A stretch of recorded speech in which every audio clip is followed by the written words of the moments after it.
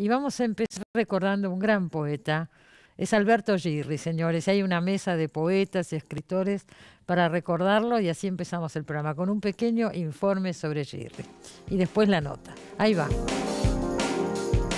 Alberto Girri nació en Buenos Aires en 1919 y murió en 1991 en esta misma ciudad. Gran poeta argentino, sus versos, despojados e impersonales, influyeron en las generaciones posteriores. Escribió alrededor de 30 libros, siempre caracterizados por un lenguaje ascético e intelectual. Bueno, señores, Alberto Girri, ¿quién se acuerda hoy de Alberto Girri? Gran poeta argentino se cumple ahora en noviembre 25 años de la muerte y queremos recordarlo con un grupo de poetas, escritores, algunos de ellos amigos personales de Girri, un personaje bastante particular y único de la literatura argentina. ¿No es así, Alina? Podemos decir que sí. Sí, claro que sí. Tenía características únicas, Alberto Girri. Sí, porque eh, hablar de él es hablar como persona también, no solamente como poeta, es hablar de él como traductor, hablar de él como pensador, porque ha escrito reflexiones fantásticas en un libro que se llamaba Cuestiones y Razones. ¿Cómo no? Cuestiones y Razones. Gran libro de Alberto Gil. Gran libro de él, donde es como una especie de síntesis de lo que él pensaba, no solo de la poesía, sino de la vida. Y yo lo quise mucho porque, bueno, fue una amistad. Yo hablaba todos los días por teléfono con Alberto, nos veíamos todos los domingos con mi marido Ricardo y él, nos encontrábamos todos los domingos a la noche en la barra, ahí en San Martín y Córdoba. Él andaba siempre por ese barrio, que era su por barrio, el barrio Retiro donde vivía. Que era su barrio. Era como un emblema, él estaba en la Plaza San Martín a la mañana tomando sol, siempre quemado, era como una especie de dandy, ¿no? Por eso recordamos todo esto porque más allá del gran poeta es un arquetipo de argentino y de escritor argentino que ya está en retirada, ¿no? La figura de Alberto El porteño, ¿no? El porteño, tal cual. El dandy porteño le han dicho también. ¿No es cierto? Siempre perfecto, elegante. Que justamente le puse como título El último dandy. El último dandy, claro, seguro. Era un dandy. ¿Qué decís, Jorge? Premio Nacional de Poesía, señores, no lo hemos felicitado acá en el programa. Premio Nacional de Poesía el año pasado, Jorge Ulicino. ¿eh? ¿Qué digo de Girri? Bueno, yo lo traté a Girri mm, relativamente poco comparado con, con la amistad que tuvo Alina. Este, lo entrevisté varias veces periodísticamente y después charlamos algunas veces más. Lo encontraba a menudo en la Feria del Libro. Siempre me pareció esto que ustedes están diciendo, ¿no? Un, no sé si estrictamente un dandy, porque siempre el dandy tiene algo de provocador. Más bien una, una especie de elegante porteño, ¿no? De galán porteño de, otras épocas. Eh, esto en el aspecto. Y después era eh, un maestro en el rigor, ¿no? En el rigor poético y en el rigor este, analítico cuando incluso en el rigor en lo más elemental, porque yo me acuerdo que no había cosa que él dijera que no, no tuviese un, fondo de reflexión, de, pensamiento elaborado. Sin duda. Se ve que era una cabeza que trabajaba todo el tiempo, ¿no? Sí. Y vivía en función de la poesía, era un poeta. Y vivía muy pobremente. Además, al contrario con una de lo gran que austeridad. ¿no? una zeta. Era una, especie de espartano, con muy pocos muebles, un, departamento, muy chico este, que con las últimas veces que yo lo vi, incluso lo tenía ya medio descuidado. Eh, Fíjate, ¿no? El departamento, porque él físicamente siempre estaba muy impecable. Él estaba impecable, impecable. Con muy poca cosa, te digo, porque si vos sabés observar, y vos sabés, este, el, atuendo, el luco, como quieras llamarlo vos, fíjate que Girri se arreglaba y estaba elegante con muy poco era un saco, una corbata, bien elegidas mm. y nada más que eso. Y este, bueno, y su arreglo personal y su bueno, y su aspecto, ¿no? Ese aspecto enjuto que tenía tan serio, tan severo. Un poco en contradicción después con un humor medio medio irónico y, y chispeante a veces. Sin duda que sí. Él tenía Vamos a recordar a los amigos de Girri, los escritores de esa época, ¿no es cierto? Bueno, Borges, por supuesto. Eh, Marta Lynch era muy amiga de Girri. Yo que escribí el libro sobre Marta Lynch, él me ayudó mucho. Eh, conversamos mucho, él conoció muy profundamente a, Marta Alberto en la casa de Marta Lynch. Claro, eran íntimos amigos. Muy amigos. Y todo, toda bueno, él trabajó en la revista Sur, ¿no? De Victorio Campo, representa también toda esa época. ¿Qué decís, Fernando? Bien, muy bien. Yo lo recuerdo con mucho cariño. Para mí fue, desde el punto de vista literario, fue eh, el equivalente a lo que fue Borges en prosa, fue Girri en poesía, porque le sacó toda esa cosa ampulosa y, farragosa que, muchas veces tenía la poesía de, su generación. Sí. Además, este, tuve la, suerte de, hacerme bastante amigo suyo, porque trabajando en Sudamericana como asesor de prensa, eh, él venía cuando tenía que verse con Pesoni y hacía un otro amigo de Girri, otro amigo de y, también con, con, con Murena y demás y, además tuvieron esa audición tan linda, ¿no? Bueno, entonces hacía un poco ¿Audición de, de qué? ¿Radio? Radio. Radio, ah, claro. ¿sí? Radio, mucho tiempo. Sí. muy ah, importante. Se, se, puede escuchar, hay algunos capítulos creo que en YouTube, en algún lugar de internet están. ¿Ah, sí? Sí, están. vamos a hacer una cosa, eh, vamos a pasar un pedacito de una vez que estuvo Girri acá, vino varias veces a Los Siete Locos, pero bueno, vamos a pasar un pequeño fragmento para recordarlo y además estamos hablando, vamos a verlo ahora. Ahí va surge la idea de un poema? Eso es muy difícil de contestar porque es una elaboración consciente e inconsciente a la vez y puede partir de un hecho totalmente fortuito, una palabra oída al azar en la calle, una imagen, un recuerdo, una meditación sobre determinada circunstancia personal o no, una anécdota, ¿no es cierto? Eh, y, se produce un estado de concentración o de llamado de atención sobre determinadas cosas que hace que uno esté atento a eso. En determinado momento eso empieza a cobrar una especie de forma, de forma informe, si vos querés, y, vos apelás a qué para que esa forma informe tenga alguna existencia, a las palabras. Y probás, probás, probás. Y las palabras mismas te van indicando cuáles sí, cuáles no, o sea, que la, literatura tiene dos, aspectos. Un aspecto, eh, digamos, original, en el sentido del impulso natural y originario de cada cual a escribir algo, y un aspecto que podríamos considerar que la literatura es un artificio, es decir, está hecha con palabras, y que las palabras se eligen, se prueban, se quitan, se ponen. Y hay una tercera instancia que es la más misteriosa de todas, que a cierta altura de la composición, es el propio poema quien le dicta al autor las características que va a tener ese poema. Es un hecho intransferible y misterioso, pero se produce eso. Por eso que de pronto cuando uno está escribiendo algo cambia palabras sin saber por qué.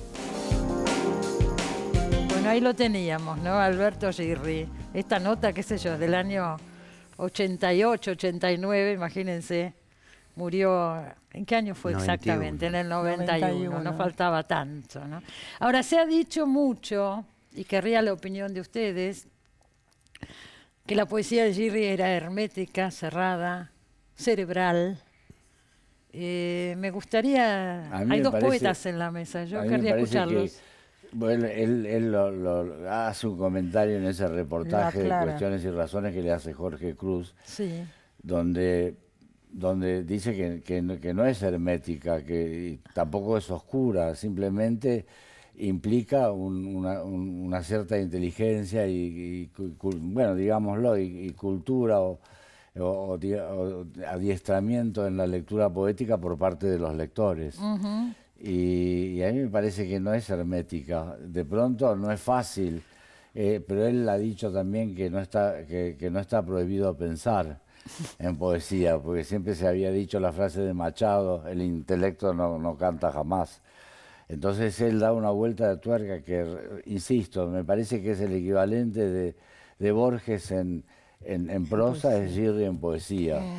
Pero vos fijate cómo se recuerda a Borges y, lo poco que se recuerda a Alberto Girri, sí, es cierto. Por eso es tan lindo este, este encuentro con, vos, ¿no? Poder hacerlo. Él hacía una distinción muy interesante con respecto a lo hermético, porque no le gustaba que se dijera que su poesía era hermética. Pero se decía y mucho. Eh, se decía mucho porque sí es una poesía cerebral donde hay que el lector tiene que participar. Mm. Pero él hacía una distinción entre lo oscuro, ¿no? Eh, lo oscuro y lo cerrado. Mm. Entonces él decía que mucha gente se confundía y creía que su poesía era hermética y oscura, pero con lo oscuro no, no se puede hacer nada porque la oscuridad es la oscuridad, en cambio con lo cerrado uno puede abrirlo. Mm. Entonces que él reconocía que su poesía era cerrada, porque daba la posibilidad, era como una puerta cerrada, pero que vos podés abrir. Mm. Entonces dependía de uno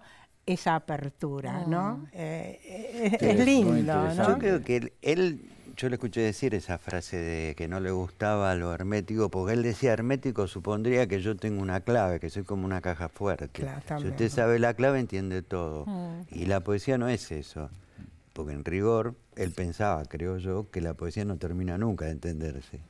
este, lo que sí es cierto que subía para llegar a digamos, a un complejo emotivo intelectual era la vía de la inteligencia y de la, del seguimiento, digamos, riguroso del texto en, sentido este, intelectual, ¿no? Eso es cierto, lo cual es, demandaba un esfuerzo y este esfuerzo muchas veces, como a mí mucha gente no está dispuesto a hacerlo, decía, bueno, no, no se puede, no se puede entrar a esa poesía o esa poesía difícil o es oscura o tiene clave. En, rigor no tiene muchas claves. Mm. No es tan difícil de entender cuando uno hace esto que él decía incluso como un mandato. Sigue el texto. Era una consigna que él tenía, ¿no?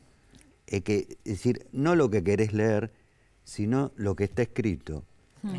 Lo que es. Lo que es. Se dice también que él se separa, separa el yo, o sea, él. Sí, él toma la impersonalidad, la impersonalidad lo defendió siempre, incluso como una cuestión estoica y hasta filosófica en sentido oriental, ¿no? De la pérdida del yo. Bueno, él tenía una influencia muy, sí, muy poderosa. Él nombraba menos de Krishnamurti, sí, por ejemplo. influencia sí. donde él hablaba del budismo y del hinduismo. sí. Él hablaba del maya, o sea, del mundo de las apariencias, de lo apariencial, este eh, de, la verdad que hay detrás de ese mundo, que en realidad él no decía que fuera falso, sino, y tampoco lo dice el hinduismo en rigor, sino que se presenta de esa manera. Pero ¿cuál es qué hay detrás de esa? Y él jugaba con el doble sentido de Maya en hindú y Maya de la Maya, como nosotros entendemos, Maya que es el, tejido. La entrama, la, malla, deshacer esa red, esa malla, para ver qué es lo que la constituye. Pero que, como digo, a mí, por lo, ha dicho en reportaje, incluso en uno que le hicimos en el diario de poesía, él consideraba que nunca se llega ahí. Decía siempre un horizonte que se aleja. Es como el superhombre de, Nietzsche, me acuerdo mm. que dijo una vez, mm. Que cuando uno cree que lo alcanza, ya está mucho más allá.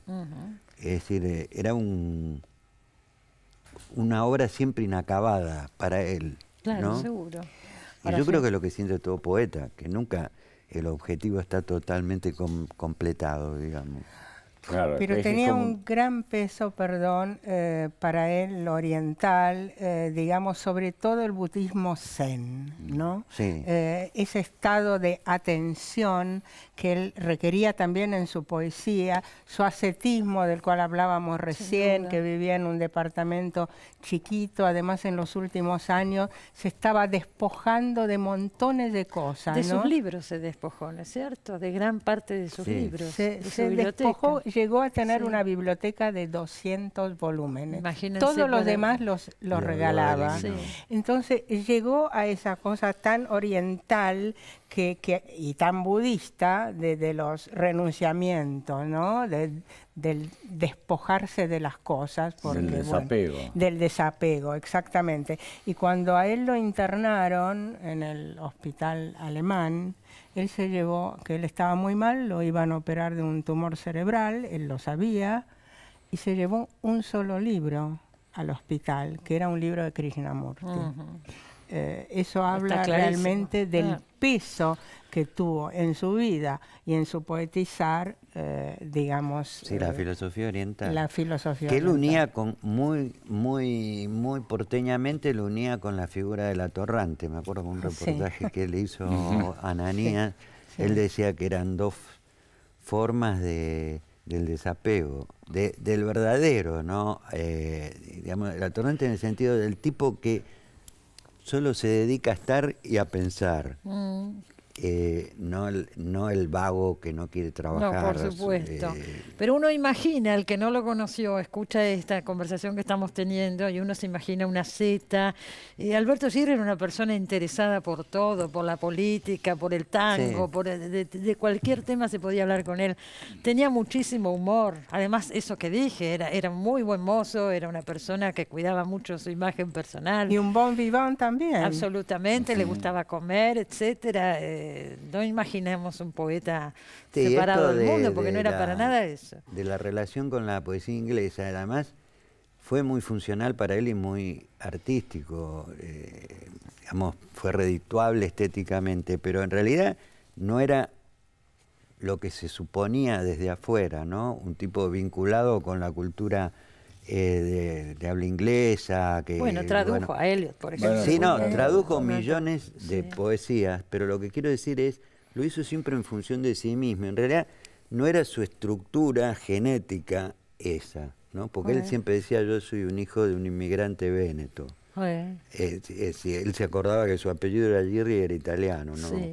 No, no precisamente inglés. Pero tenía un Pero había en la poesía y en su porte, esto correspondía y daba una imagen de una especie de, inglés trasplantado, una especie de, inglés aporteñado. Pero en realidad creo que constitutivamente no era eso, era, era un personaje, en cierto modo es como, como decía Ted Hughes, ¿no? Decía de, de, él decía de Eliot, es un es un chamán disfrazado de banquero. Y, y, de, alguna manera fue un chamán disfrazado de, de lord inglés o de victoriano. Sí, sí, sí. ¿Vas a leer un poema? Queremos que el poeta Auricino va a leer a Girri. Por vía negativa, no es muy largo. ¿ves? Bueno, mm. aunque sea un fragmento. Perseverar en lo equívoco, sin someterlo al examen de sí, no, verdadero, falso sin aparente menoscabo por sus disyuntivas distancias que provoca entre juicios y hechos, el instinto que resistirnos, de resistirnos a impropiedades, la inteligencia herida por inéditas asociaciones, sin figurarnos no, en imagen, en la condición de objeto, lo equívoco visto como agujero al que se cae inadvertidamente, una criatura con alas de brillante verde, intenso al posársenos, alas mohosas al sacudirnos, sin que nuestra menesterosa observación advierta cuando abandona el campo acallándose la instancia en que de error pasa a ser su antítesis. Mm. ¿Sabemos de qué año es ese poema? Sí, es del libro Lírica de Percepciones, que creo que es del 79, 80, por ahí lírica de percepción. Toda la obra de Alberto Girri está editada por Corregidor, 83. Está toda editada por Corregidor. Yo no sé si hoy se consigue. también. Sudamericana, bueno, fue su editorial. Pero después le hicieron las obras completas, me parece. Sí, esta, Corregidor, Corregidor. Pero no sé si hoy se también publicó. Fraterna. Hoy se conseguirá, vaya uno a saberlo. Si alguien quiere eh, conseguir la poesía de este Girri. que vos citaste. Cuestiones y razones. Era de Fraterna. Y después Juegos alegóricos, que fue eh, el libro que ganó el primer premio de la, Nación. cuando Alberto estaba agonizando.